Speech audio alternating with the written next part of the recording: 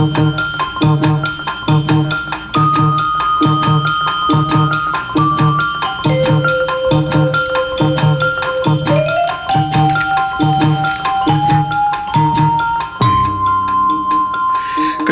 It's Wednesday, December 1st, and the biggest challenge to abortion rights in decades. The Supreme Court's conservative majority justices signal today they will allow states to ban abortion much earlier in pregnancy, and they're indicating they may go even further to overturn altogether the nationwide Roe v. Wade right that has existed for nearly 50 years. What constitutional right protects the right to abortion? Um, is it privacy? Is it autonomy? What would it be? It's liberty, Your Honor. It's the uh, textual protection in the 14th Amendment that a state can't deprive a person of liberty without due process of law. And the court has interpreted liberty to include the right to make uh, family decisions and the right to physical autonomy, including the right to end a pre-viability pregnancy. A person in San Francisco, the first in the United States to have an identified case of the Omicron variant of COVID 19. The California and San Francisco Departments of Public Health and the CDC have confirmed that a recent case of COVID 19 among an individual in California was caused by the Omicron variant. Dr. Anthony Fauci said genomic sequencing conducted at the University of California, San Francisco was confirmed by the Centers for Disease Control and Prevention. The person had recently traveled to South Africa. The White House and the CDC, the Centers for Disease Control and Prevention, commemorate World AIDS Day today by launching new campaigns to combat HIV AIDS. A 15 year old boy charged with murder and terrorism for a mass school shooting that killed four fellow students and injured others at the Oxford High School in Michigan. Ethan Crumbley is to be tried as an adult.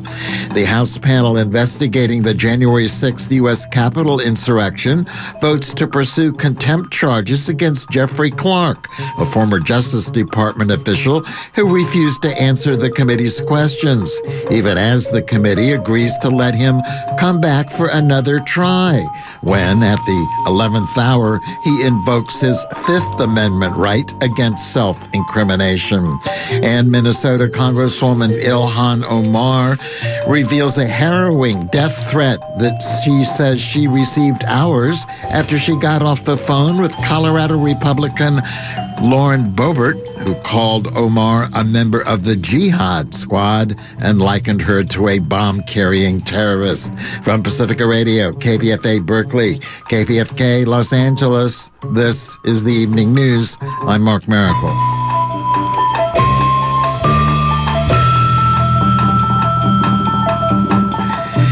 The United States Supreme Court looks poised to overturn Roe v. Wade, the landmark ruling that recognized a right to abortion nationwide. The state of Mississippi is asking the court to uphold a state ban on abortions after 15 weeks, long before the viability standard set by another Supreme Court ruling. About half of the states have laws already on the books or ready to go that would ban abortions if Roe v. Wade is repealed. Christopher Martinez reports. The state of Mississippi is asking the Supreme Court to do more than uphold Mississippi's ban on abortions after 15 weeks. It's asking it to overturn a pair of landmark abortion rulings, Roe v. Wade and Planned Parenthood v. Casey. Mississippi Solicitor General Scott Stewart argued the case for the state. We're, we're running on 50 years of Roe. It is an egregiously wrong decision that has inflicted tremendous damage on our country and will continue to do so and take innumerable human lives unless and until this court overrules it. We ask the court to do so in this case and uphold the state's law. At issue is a Mississippi law called HB 1510, the Gestational Age Act. It would ban abortions after 15 weeks, with no exception for rape or incest. It was blocked from taking effect by lower federal courts. Jackson Women's Health Organization, also known as the Pink House, is the last abortion clinic left in Mississippi. It sued to block the law and won, leading to the Supreme Court appeal. Julie Rikelman is litigation director at the Center for Reproductive Rights. She argued the case for the clinic. Mississippi's ban on abortion two months before viability is flatly unconstitutional under decades of precedent. Mississippi asks the court to dismantle this precedent and allow states to force women to remain pregnant and give birth against their will. The court should refuse to do so. She says eliminating or reducing the right to abortion would, in her words, propel women backwards. The Biden administration also weighed in at the hearing. Elizabeth Prelogar is U.S. Solicitor General. She says the effect of overturning Roe and Casey precedents, in legal terms, that's called stare decisis, would be severe and swift, noting that nearly half of all states have already enacted or prepared abortion bans. If this court renounces the liberty interest recognized in Roe and reaffirmed in Casey, it would be an unprecedented contraction of individual rights and a stark departure from principles of stare decisis. The court has never revoked a right that is so fundamental to so many Americans and so central to their ability to participate fully and equally in society. The court should not overrule this central component of women's liberty. The state of Mississippi says the issue of abortion should be left to the states, since the Constitution is neutral on the issue. Justice Brett Kavanaugh seemed receptive to that argument. Why should this court be the arbiter rather than uh, Congress, the state legislatures, state Supreme Courts, the people being able to uh, resolve this? And there'll be different answers in Mississippi and New York, uh, different answers in Alabama than California um, because there are two different interests at stake, and the people in those states might value those interests somewhat differently. Chief Justice John Roberts did not directly address overturning Roe, instead zooming in on the 15-day ban. He asked why 15 days would not be enough time. It is the standard that the, vast majority of other countries have. Uh, when you get to the viability standard, we share uh, uh, that standard with the People's Republic of China and North Korea. And I don't think you have to be in favor of looking to international law to set our constitutional standards to be concerned if those are your share that particular time period. Rikelman corrected the facts, noting that the majority of countries with laws on the issue use viability, not 15 days. She said the ban would especially hurt certain women. Mississippi's ban would particularly hurt women with a major health or life change during the course of a pregnancy. Poor women who are twice as likely to be delayed in accessing care. And young people or those on contraception who take longer to recognize a pregnancy. Other conservative justices, who make up a majority on the High Court, seemed more eager to overturn Roe. Justice Clarence Thomas asked Rikelman about the very basis for a right to abortion. What constitutional right protects the right to abortion?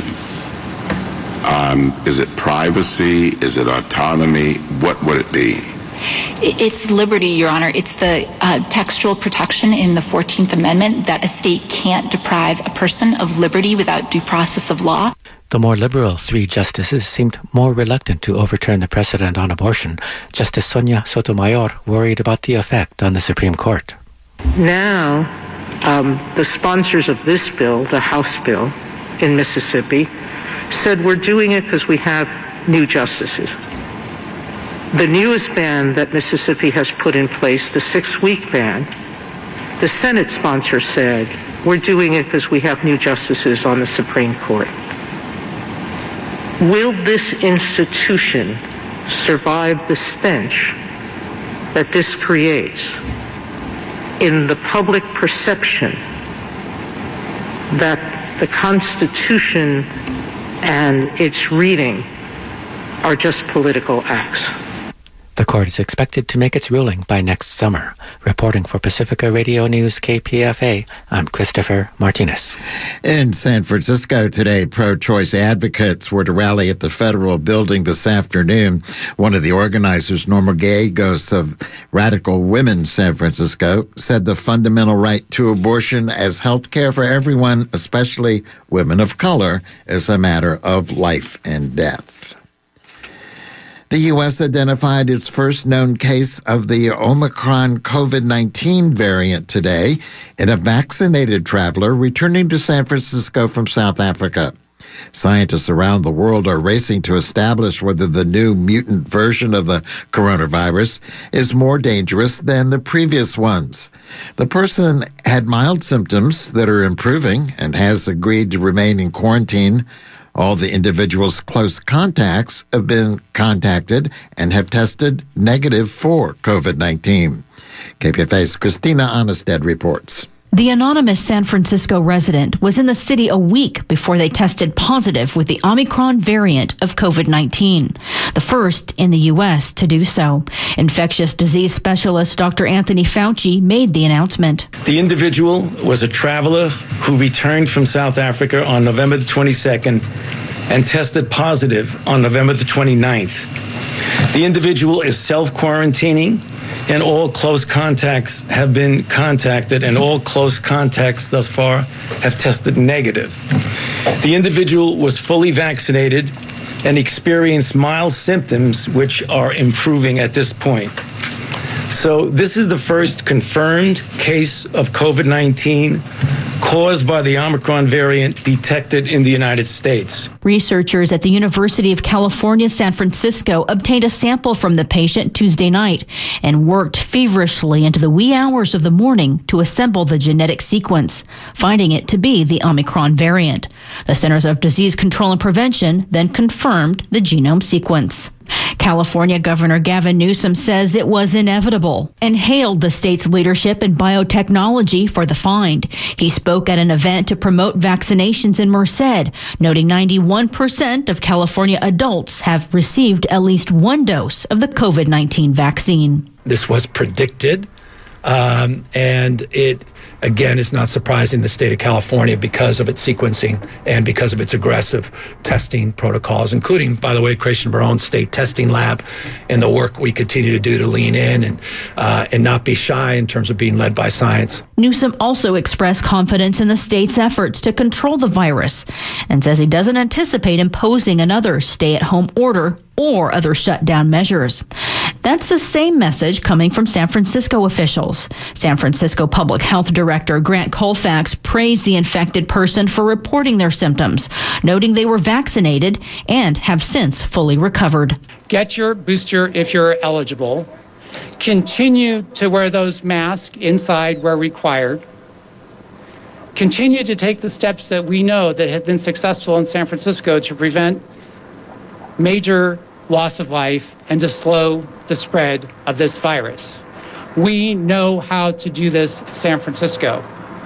At this time, we do not anticipate changing any of our health orders or changing any current restrictions or imposing new restrictions on activity in San Francisco. We're obviously following these developments very closely. We will share additional information as we have it Little is known about the severity of the Omicron COVID 19 variant.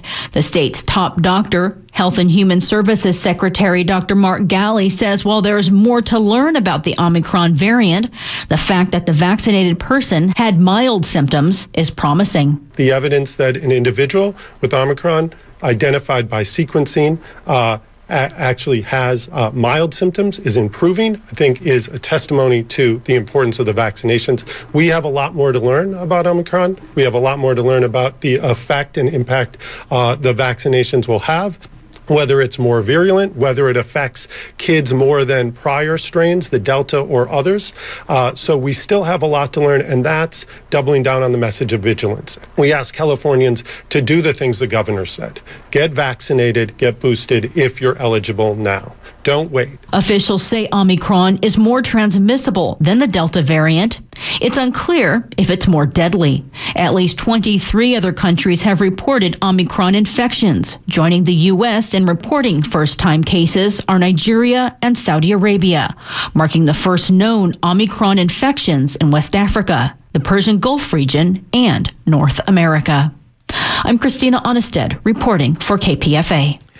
Airlines are being required to gather information about some passengers that will help with contact tracing If those passengers develop COVID 19, the new rules from the Centers for Disease Control and Prevention apply to passengers entering the U.S. who have been in southern Africa in the previous two weeks. The CDC issued the order today. It follows President Biden's ban on travel to the U.S. by foreign nationals who have been in any of eight southern African countries recently. That travel ban doesn't apply to American citizens or permanent U.S. residents. You're listening to the evening news on KPFA Berkeley, KPFK Los Angeles, KFCF Fresno, online, kpfa.org. South Africa's new cases of COVID 19 have nearly doubled in just one day. The numbers signal a dramatic surge in the country where scientists detected the Omicron variant last week. New confirmed cases rose to 8,561 today from 4,373 a day earlier. Scientists in South Africa say they're bracing for a rapid increase in COVID 19 cases following the discovery of the new Omicron variant. Dr. Nicksy Gumede Moeletsi, regional virologist for the World Health Organization, said there's a possibility that South Africa is going to see a vast increase in the number of new cases. The Omicron variant has been detected in five of South Africa's nine provinces and accounts for nearly three quarters of the virus genome sequenced in November. The chief of the European Union's executive arm said today that EU nations should consider making COVID 19 vaccinations mandatory because too many people in Europe still refuse to get shots voluntarily. The EU wide vaccination rate stands at 66%, two thirds and unexpectedly high case surges in much of the 27 nation bloc has led many member countries to renew mask and testing requirements and to take other steps to curb infections. Simon Marks reports. European Commission President Ursula von der Leyen said today EU member states should now consider making COVID 19 vaccinations mandatory. She said the Omicron variant makes it even more important for the vast majority of Europeans to get jabbed. It is understandable and appropriate to lead this discussion now how we can encourage and potentially think about mandatory vaccination within the European Union. This needs discussion. In Britain, nine more cases of Omicron were identified today, taking the total number of cases there to 31. Simon Marks reporting. The European Union is proposing a nine month expiration date for COVID 19 vaccines that would apply to those traveling to and in the 27 nation member bloc. That could spur the use of booster shots, but the EU Commission at its meeting last week did not specify any expiration dates for booster shots. It's also proposing to allow children aged 6 to 17 to be allowed into the country without a vaccine if they test negative for COVID 19 before departure. It would be up to individual countries to impose further restrictions if they wish, like quarantines and or tests after arrival. Navajo leaders and public health officials are urging citizens of the Navajo Nation to take COVID 19 precautions as concerns grow over the spread of the Omicron variant of the disease. Antonia Gonzales reports. Navajo leaders and public health officials in a virtual town hall Tuesday asked Navajo citizens to be careful and to protect their families and others by getting vaccinated and to continue to wear masks in public. Navajo Nation President Jonathan Nez. We want to make sure that we are all prepared. We warrior up as we go into the uh, holiday, the Christmas season, the New Year's uh, holidays here. And it's upon all of us. It's not all upon government. It's not upon Washington, D.C. It's upon you. Navajo health officials say they're currently addressing the Delta variant while monitoring Omicron as part of the tribe's public health response to COVID 19. Internal medicine specialist Dr. Va. Working in a collaborative effort, we've we've already made Omicron a priority to be able to pick up and detect should it be here in Navajo Nation. As of now, none of the samples have come back positive for Omicron. It's still very much Delta. We are monitoring this and we have the tools and systems in place to do so and that are actively doing so right now. Health officials say Omicron has an unusual combination of mutations and is quite different than the Delta and other variants. It's causing disease in people who have recovered from Delta. According to the World Health Organization, Omicron is spreading in South Africa and is expected to be detected around the world. U.S. officials are preparing for its arrival. I'm Antonia Gonzales. A 15 year old boy was charged with murder for a shooting that killed four fellow students and injured more at a Michigan high school, authorities said today, as they revealed additional details, including a meeting between troubled officials of the school and his parents just a few hours before the bloodshed. No motive was offered by Oakland County authorities a day after violence at Oxford High School, which is roughly 30 miles north of Detroit. The prosecutor said the shooting was not just an impulsive act, but was premeditated based on a mountain of digital evidence. A sheriff's lieutenant told a judge that the shooter recorded a video the night before the violence in which he discussed killing students. More from reporter Simon Marks. The 15 year old suspect accused of killing four students at a Michigan high school in a shooting attack on Tuesday is facing charges of first degree murder and terrorism. A fourth teenager died in hospital today, making Tuesday's attack the deadliest school shooting in America this year. Seven other people were injured.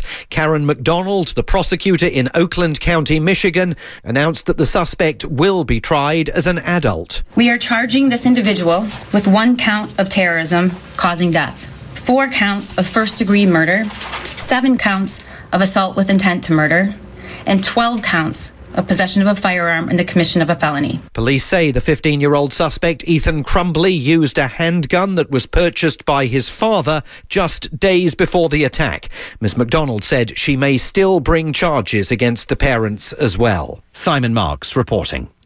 The Ninth Circuit Court of Appeals has upheld California's ban on high capacity magazines that hold more than 10 rounds of ammunition. That issue may be headed to the U.S. Supreme Court. The appeals court vote of 7 to 4 came after it reheard the case and overturned a decision from a smaller panel of the court. That panel had voted two to one that the state's ban on high capacity magazines was unconstitutional. The California Rifle and Pistol Association had filed the original lawsuit challenging the law and the association said it will appeal to the Supreme Court.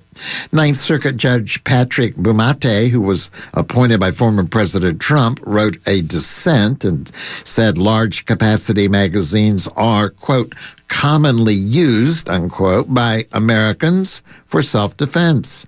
Gun safety proponents and California Attorney General Rob Bonta hailed the ruling, with Bonta calling it a victory for public safety in the state.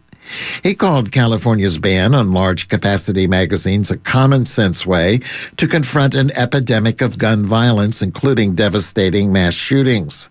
Bonta noted that the court's majority said every mass shooting with 20 or more deaths in the last 50 years involved large capacity magazines, as did about three quarters of those with 10 or more deaths. The court ruling noted that more than twice as many people were killed or injured in mass shootings with high capacity magazines than those with less firepower. It is the 40th anniversary of World AIDS Day in San Francisco. The day was to be marked with an evening candlelight ceremony in the National AIDS Memorial Grove in San Francisco's Golden Gate Park beginning at 4:30 this afternoon. The United Nations estimates that between 27 and 47 million people around the world have died of AIDS related illnesses since the start of the epidemic in 1981. Nearly 38 million people are living with HIV, including 1.2 million in the United States. Dr. Anthony Fauci, the top U.S. infectious disease expert, says the COVID 19 pandemic has diverted scientific and financial resources from the fight against AIDS, seriously impeding global efforts to achieve the UN goal of ending AIDS by the year 2030. He told the United Nations General Assembly that tackling COVID 19 has also disrupted supply chains and increased the risk for people with HIV, the virus that causes AIDS, of being infected with another deadly virus. The White House and the Centers for Disease Control and Prevention commemorated World AIDS Day today by launching new campaigns to combat HIV AIDS. Nika Mirpour reports. President Joe Biden unveiled a new HIV AIDS strategy to end the more than 40 year old epidemic on World AIDS Day. The new strategy asserts that gay and bisexual black and Latino men are too often stigmatized even as they are disproportionately affected by HIV. It also declares racism a public health threat. Biden says he's asked Congress to approve more than half a billion dollars to combat the epidemic by the UN set date of 2030. And critically, this strategy takes on racial and gender disparities in our health system that for much too long have affected HIV outcomes in our country. To ensure that our national response is a truly equitable response. So we're going to take aggressive action and back it up. We've asked Congress for $670 million in historic budget request for the Ending the HIV Epidemic in the United States initiative. And I'm confident we're going to get that done. New HIV infections in the country dropped about 8% from 2015 to 2019 but Black and Latino communities, particularly gay and bisexual men, continue to be disproportionately affected, according to data from the CDC, Centers for Disease Control and Prevention. African Americans make up about 13% of the U.S. population, but accounted for more than 40% of new infections. The Latinx community makes up 18% of the population, but accounted for nearly 25% of new infections. Historically, gay and bisexual men have been the most disproportionately affected group. They account for about 66% of new HIV infections, even though they are only 2% of the population, according to the CDC. Disparities also persist among women. Black women's HIV infection rate is 11 times that of white women and 4 times that of Latino women. Health and Human Services Secretary Xavier Becerra outlines the administration's strategy for these at risk populations. Provide additional support to the 50 jurisdictions where more than half of the country's new HIV diagnoses occur, as well as seven states with a disproportionate occurrence of HIV in rural areas. Our HHS agencies will also continue to support the global fight to end HIV through the President's Emergency Plan for AIDS Relief, PEPFAR. We're working with countries around the world to train healthcare workers and improve detection, apply the latest research and safest medications and provide life saving treatment to those in need. We're partnering with the World Health Organization and others to advance critical policies that will save lives. The administration's strategy to combat AIDS HIV also calls for combating HIV related stigma and discrimination and providing leadership and employment opportunities for people with or at risk for HIV. The new strategy also puts greater emphasis on harm reduction and syringe service programs, encourages reform of state laws that criminalize behavior of people with HIV for potentially exposing others, and adds focus on the needs of the growing population of people with HIV who are aging. The president expressed disbelief that some states have laws in the book that criminalize spitting in public by HIV positive people, even though it has been long proven that the virus can't be transmitted through saliva. 35 states have laws that criminalize various forms of HIV exposure, according to the CDC.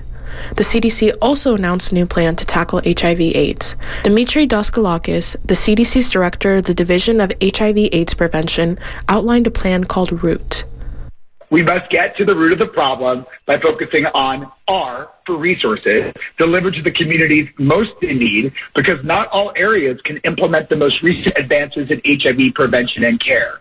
O for reaching people outside of traditional healthcare settings through innovations like HIV self-testing and mobile service.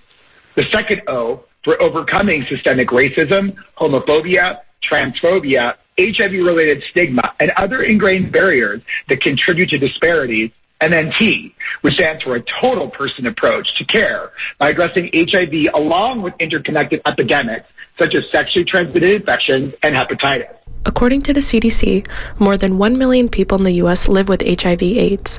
While there is no medication for it, viral resistance to the treatment has grown. There remains no cure. For KPFA Pacifica Radio, I'm Nika Mirpour. New York City says the first officially authorized safe havens for people to use heroin and other narcotics have been cleared to open in the city in hopes of curbing deadly overdoses. The city is calling them overdose prevention centers. They're more usually known as supervised injection sites. They've been discussed for years in New York and some other cities including San Francisco, already exist in Canada, Australia, and Europe. Proponents say the facilities save lives. Opponents say they essentially sanction people to harm themselves. Federal law bans operating a place for narcotics use. The city health commissioner says the sites are at existing syringe exchange programs. You're listening to the evening news on KPFA Berkeley, KPFK Los Angeles, KFCF Fresno online at kpfa.org. It's an hour long newscast airing each night at 6 o'clock. I'm Mark Mericle. Uh, the House panel investigating the January 6th U.S. Capitol insurrection voted today to pursue contempt charges against Jeffrey Clark, a former Justice Department official who refused to answer the committee's questions, even as the committee has agreed to let him come back for another try. The committee voted 9 to 0 to pursue criminal charges against Clark, who embraced Donald Trump's attempt to overturn his election defeat. The chair of the panel, Mississippi Representative Benny Thompson, said the committee had received a last minute notification from Clark's lawyer that he wants to instead invoke his Fifth Amendment right against self incrimination.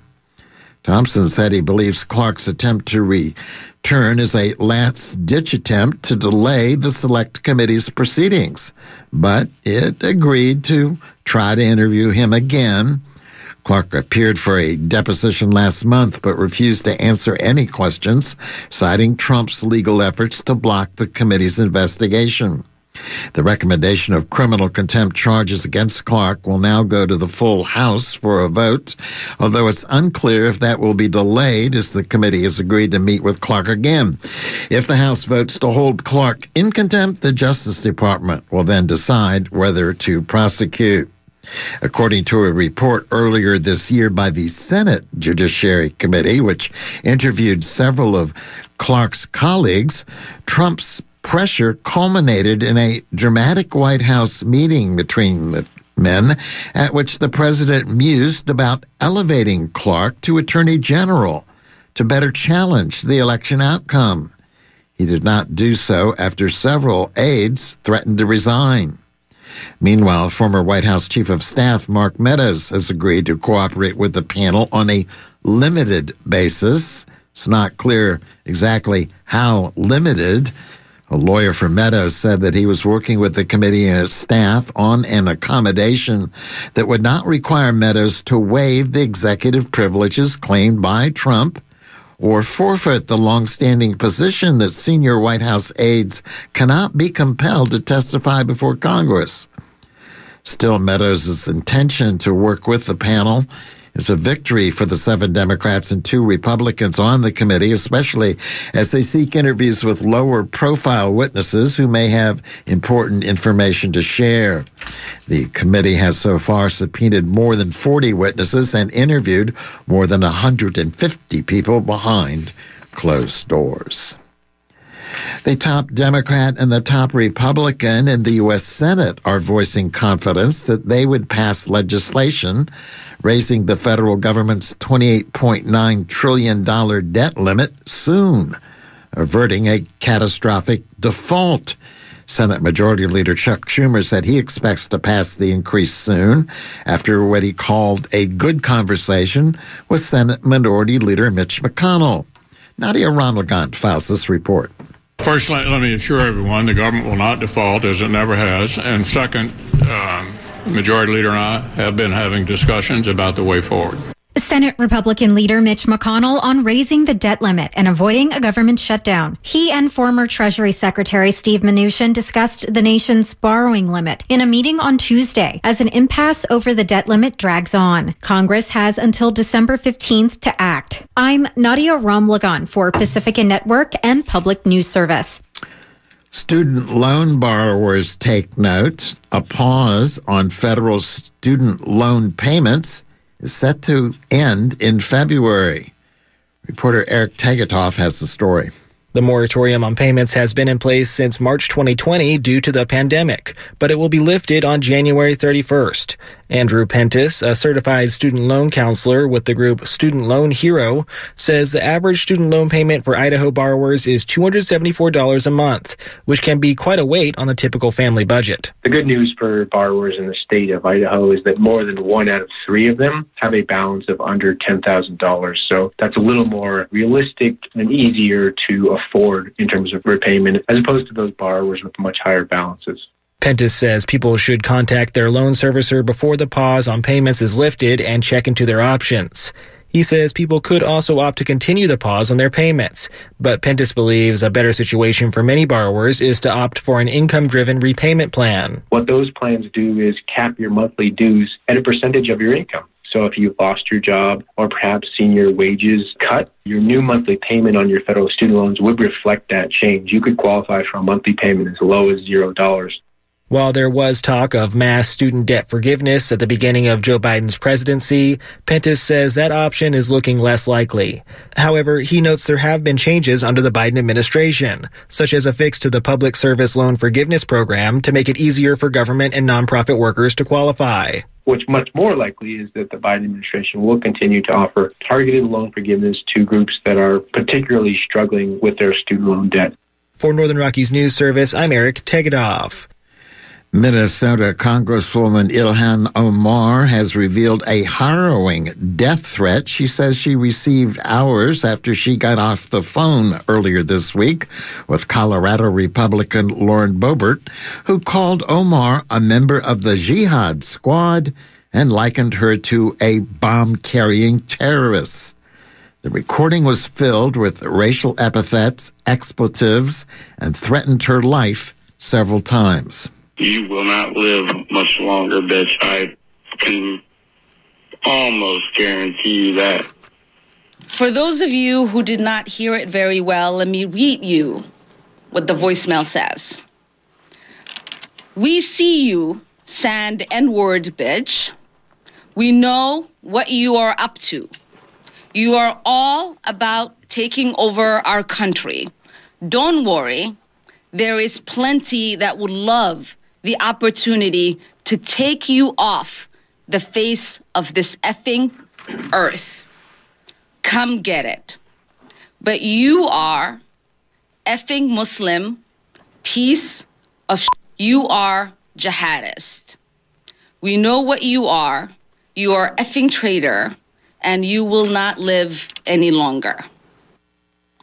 Omar said condemning remarks such as Boebert's should not be a partisan political issue, and she urged House Republican leaders to do more to tamp down anti Muslim hatred within their ranks. Yet, while some members of the Republican Party have condemned this, to date, the Republican Party leadership has done nothing to hold their members accountable.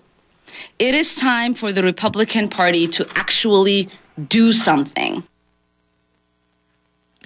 Omar was joined by fellow representatives Rashida Tlaib, Jamaal Bowman, and Andre Carson. Carson, who is also Muslim, said he's working with Democratic leadership on a House resolution that could address the issue. Honduras's ruling party conceded defeat yesterday in presidential elections held two days earlier, giving victory to leftist opposition candidate Xiomara Castro and easing fears of another contested vote and violent protests.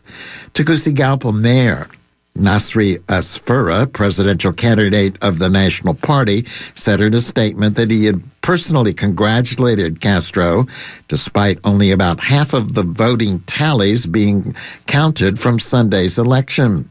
The former First Lady had 53% of the votes and Asfura 34%, with 52% of the tallies counted, according to the National Electoral Council.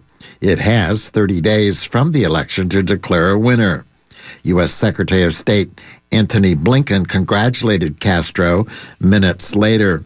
Asfura's recognition of the outcome was a relief to many Hondurans who had feared a contested election after a debacle in the election of 2017 led to street protests that left 23 people dead. Following that vote, the government imposed a curfew and only three weeks later declared now outgoing President Juan Orlando Hernandez the winner despite the Organization of American States observation mission calling for an election redo. Fearing a similar prolonged vote standoff and social unrest, many businesses in Honduras's capital had boarded up their windows for this election. Dana Frank is professor emeritus at the University of California, Santa Cruz, and author of the book The Long Honduran Night Resistance, Terror, and the United States in the Aftermath of the Coup the coup, referring to the 2009 coup that overthrew the presidency of Castro's husband, Manuel Zelaya. The base of all this is, of course, as you said, the 2009 coup that overthrew the government of her husband, Manuel Zelaya. Um, and indeed a U.S. backed coup, and that has led to this fantastic direct um, destruction of the rule of law, of the economy, of the state, of the healthcare system, and and tremendous violence caused by security forces and police and gangs and drug traffickers. So the base of that is this tremendous disaster wrought by the national party, the ruling party, since the coup. Um, and I, you know, Xiomara first ran in 2013 as part of this uh, new party at the time, Libre um, that was founded out of the resistance to the coup, uh, the first broad opposition party in Honduran history. She ran in 2013, and we don't know who won. Um, she probably won. I think she probably won in 2013, but there was so much fraud, we don't know. Um, again, in 2000, four years ago, she ran as for vice president under Salvador Nasralla, another opposition candidate, and that election was really, really clearly robbed by the ruling party and the dictator Juan Orlando Hernandez. So, what's different now is um, some of it is that the the the base for Xiomara is just broader and broader, and the National Party's patronage system and ability to control things weaker and weaker.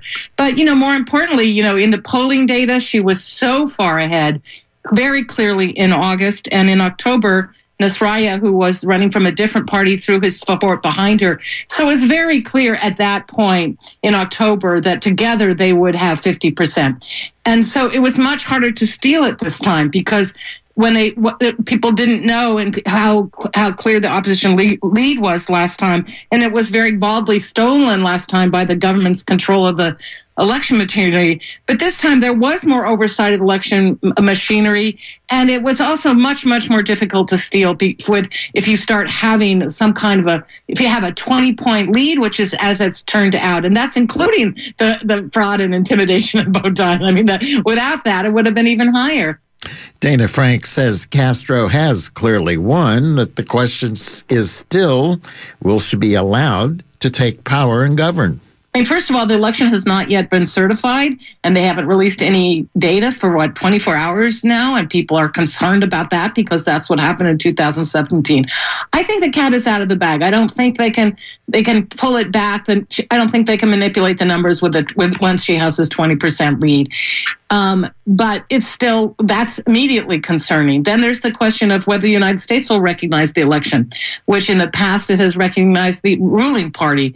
So um, uh, I think the U.S. has gone around that corner and will. We can talk about the U.S. response uh, in a sec. But, you know, I think the biggest question looming right now is the police and the military, which are loyal to the outgoing government, I would call dictatorship of President Juan Orlando Hernandez, um, and the police and police are tied in with the gangs, and they are spectacularly corrupt from top to bottom, all over the country, and extremely dangerous. And um, and the military are very, very loyal to Juan Orlando. He comes from a military background and has been promoting his people uh, above uh, others within the military, causing some resentment. So, but on the other hand, his people are locked in up at the top. So, and the military um, is very much tied with drug traffickers. And we have all of this documented in the Southern District of New York. So it's not just rumor. We know that the, the drug traffickers are embedded and working with um, the very, very top of the police and, and uh, military. So the question is, will they allow Xiomara to come to power? Um, the inauguration is January 27th. There's a long a lot of water under the bridge between now and then. I mean, many people are not, you know, are have been very concerned that there would be a coup already this week. UC Santa Cruz professor emeritus Dana Frank is author of The Long Honduran Night Resistance, Terror in the United States in the Aftermath of the Coup. Castro rode a wave of popular discontent with 12 years of National Party governance, which peaked in Juan Orlando Hernandez's second term. She'll face major challenges as the Central American country's first female president. Unemployment is above 10%. Northern Honduras devastated by two major hurricanes last year and street gangs drag down the economy with their extortion rackets and violence, driving migration to the United States. You're listening to the evening news on KPFA Berkeley, KPFK Los Angeles, KFCF Fresno, online at kpfa.org. This is Kat Brooks. I'm an actor, activist, and freedom fighter. And I'm Brian Edwards Tiekert. I mostly do journalism, which kind of sounds boring now. And together, we host Upfront, KPFA's local two hour morning magazine. We bring you breaking news, debates, deep dives, reporting on City Hall and the State House, housing and transportation, prisons and police, and everything big that happened while you were sleeping. And it means the two of us get to hang out with you at 7 a.m., right after Democracy Now! on Upfront. The infrastructure bill recently passed by Congress could provide some much needed relief for the endangered salmon populations in the Pacific Northwest. Eric Tegethoff reports. Members of the Washington state delegation ensured that the legislation contains $1 billion to remove, fix, and replace culverts, a critical piece of infrastructure that carries streams beneath roads and bridges. Ashley Abrantes is a PhD candidate in environmental science and policy at the University of Washington. She says by state estimates, there are more than 20,000 culverts in need of repair. And the number that has been repaired or replaced in the last decade, it's not even registering as a percent of the number, like a single 1% of the number that need to be repaired. So the overall status is not fantastic. Salmon in the Northwest travel out to the Pacific Ocean and then back to the stream where they were born to spawn. Abrantes says the fish have to pass through thousands of culverts along the way, but can't if those passageways are in disrepair. Many populations of salmon in the Northwest are considered threatened or endangered. Abrantes says the government is likely to start by repairing the culverts it's responsible for. She says as the law currently reads, local governments will then get to vie for funding. So hopefully cities, counties, and tribal officials will be able to pursue some of that funding to look at some of the culvert issues on a smaller scale than just statewide. The state of Washington has an obligation to ensure safe passage for salmon and other fish through culverts on treaty lands in the western part of the state. A 2018 U.S. Supreme Court decision let a district court ruling stand that gives the state a 2030 deadline to fix nearly 500 of the most precarious culverts. For Washington News Service, I'm Eric Tegethoff. New Mexico conservation groups are awaiting word on whether the U.S. Forest Service will reverse its plan to remove more than 60 streams and rivers from eligibility for future wild and scenic designation in the Carson National Forest. The plan focuses on wildfire risk reduction and improved public safety, but is written, also could allow dams or development along previously protected rivers. Roz Brown has that story. In northern New Mexico's Carson National Forest, many rivers are eligible for federal wild and scenic designation, and conservation groups say a plan to remove more than 60 from that category is short-sighted. Amigos Bravos and other groups are awaiting word on whether the U.S. Forest Service will reverse its proposal to delist the rivers in an updated management plan. Deputy Director Rachel Conn worries without protections, rivers and streams in northern New Mexico could see new dams, roads, and other development. There's 62 river segments as per the final plan are no longer eligible for inclusion in the National Wild and Scenic Rivers system. So therefore no longer protected as free flowing rivers. The Forest Service has argued river decisions made 25 years ago were overly broad and included too many rivers as eligible for wild and scenic designation, which must be approved by Congress. The deadline to comment on new management plans for the Carson, Cibola, and Santa Fe National Forests was November 3rd. Amigos Bravos is among the groups that filed objections to the draft plans. New Mexico has suffered from drought for the past 20 years, with rivers seeing record low flows this year. Conn says that makes it more important to keep the rivers in northern New Mexico free flowing, which isn't guaranteed without protections. She notes the nature of the state's rivers, deemed to have what are known as outstandingly remarkable values in a Forest Service plan adopted 35 years ago, hasn't changed. Those outstandingly remarkable values can be fisheries related, geologic, scenic, recreation, wildlife. So there's different categories of outstandingly remarkable values. Conn believes officials drafting the Carson National Forest Management Plan should have done a case by case review of rivers rather than reevaluating the entire forest. I'm Roz Brown for New Mexico News Connection. In Southern California, advocates are promoting a petition in support of a new wildlife refuge in western Riverside County. They say the area serves as critical habitat to nearly three dozen endangered or threatened species.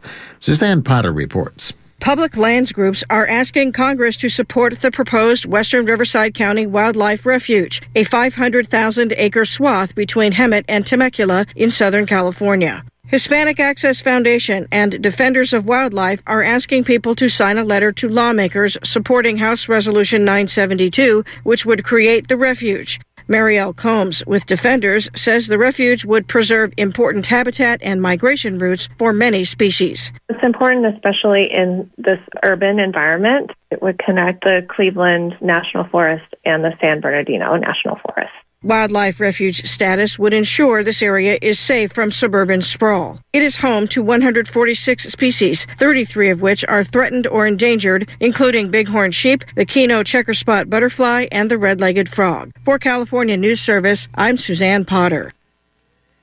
Ghislaine Maxwell's defense attorney sought today to undermine a key accuser's allegation that the British socialite helped financier Jeffrey Epstein sexually abuse the woman for years, starting when she was 14. The trial witness, who has said she's using the pseudonym Jane to protect her 22 year acting career, had testified in graphic detail yesterday about the alleged encounters in the 1990s, portraying Maxwell as an active participant during a methodical cross examination. Defense attorney Laura Menninger today confronted the woman with FBI documents from 2019 and 20, saying she had told the government her memory was foggy on whether Maxwell was present when Epstein molested her and on whether she ever touched her. Other documents claimed she had said that no abuse occurred during a visit to Epstein's ranch in New Mexico. That contradicted her testimony about alleged encounters with him there that she said made her heart sink into her stomach. The witness denied ever changing her story. She challenged the accuracy of the documents, saying her statements were never recorded. This was just someone jotting down notes. A lot of these are not correct, she said. At another point, she responded, I don't recall saying what's written there. She did not dispute other documents, saying she had named several model types and other women, she said, witnessed participating in group massages with Epstein. Maxwell, who's 59 years old, has pleaded not guilty to charges that prosecutors say showed that she and Epstein were partners in crime. The defense is countered by claiming she's being made a scapegoat for Epstein, who killed himself in his Manhattan jail cell in 2019 as he awaited his own sex trafficking trial. More from reporter Simon Marks. Today, a look at the sex trafficking trial of British socialite Ghislaine Maxwell through the eyes of her brother. Ms. Maxwell denies charges in New York of procuring underage girls for the deceased pedophile financier Jeffrey Epstein and also for herself. Her lawyers say during the course of her trial, they will try and prove she's being scapegoated by prosecutors they say are frustrated that Mr. Epstein's suicide cheated them out of putting him on trial. Ian Maxwell says his sister has been continually mistreated during her 17 months in detention. She still has, uh, even last night, as far as I know, uh, torches shone in her face every 15 minutes throughout the night. This has gone on for 16 months. Uh, the court pictures that uh, I've seen, like you've seen, uh, show me that she's uh, extremely thin and frail and this is uh, entirely due to the regime that she's been put under, uh, which I think has been done to break her. But she is not going to be broken. She is com- innocent of the charges and has been very strong in her protest of that fact since the get go. Prosecutors say they have voluminous evidence to convict Ghislaine Maxwell. She made many pre-trial efforts to be released on bail, complaining of mistreatment. All of them were rejected. Simon Marks reporting. Democrat Stacey Abrams says she's making another run for governor of Georgia. Her announcement today could set up a rematch against Republican Governor Brian Kemp, four years after her narrow defeat led her to create a nationwide voting rights organization that helped the state elect Joe Biden and two Democratic senators.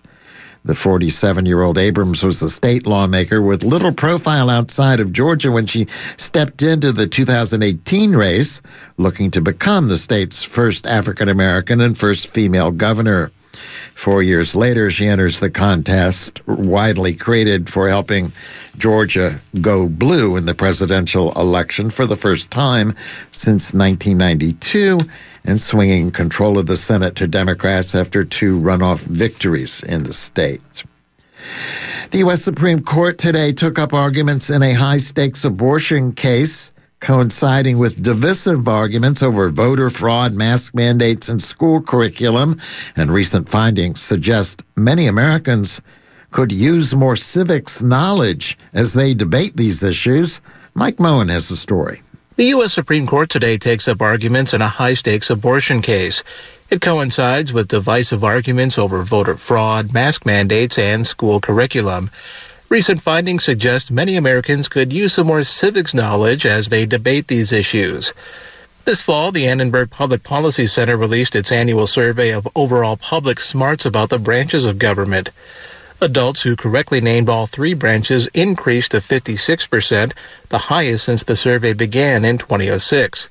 But the center's Kathleen Hall Jamieson calls this woefully inadequate. If one doesn't understand that there are three branches, doesn't understand the protections guaranteed by the First Amendment, that lack of knowledge increases the likelihood that when asked whether someone thinks that if the Supreme Court issues unpopular rulings, it might be best to get rid of the Supreme Court, a person is more likely to say yes. Some of the divisive issues in the scope of government and constitutional protections have surfaced in North Dakota.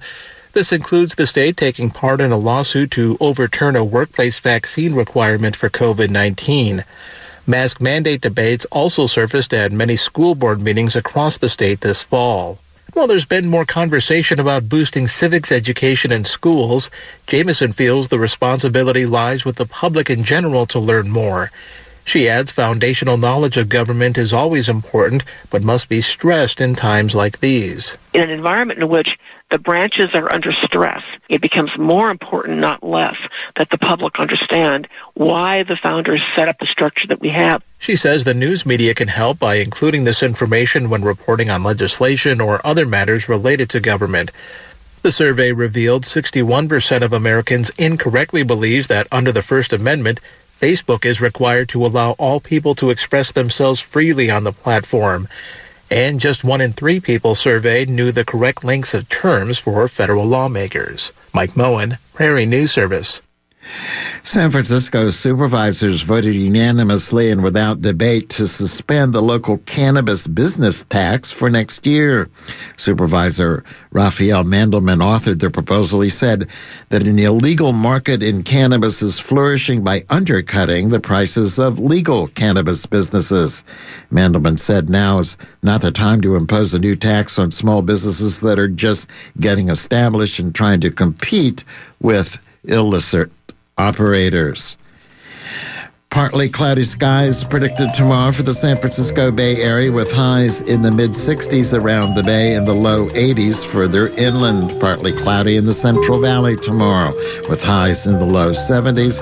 Partly cloudy also in Los Angeles with a high near 70 degrees. That's it for the news tonight for this Wednesday, December 1st. Thanks for joining us. I'm Mark Mericle. Good evening.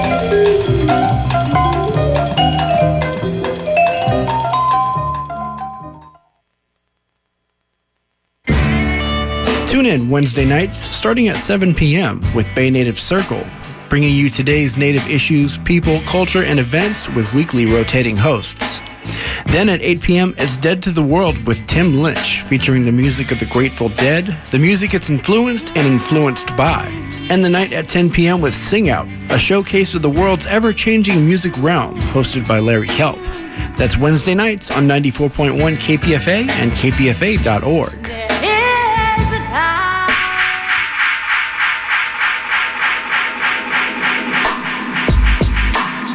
You're listening to 94.1 KPFA, 89.3 KPFB in Berkeley, 88.1 KFCF in Fresno, 97.5 K248BR in Santa Cruz, and online worldwide at kpfa.org.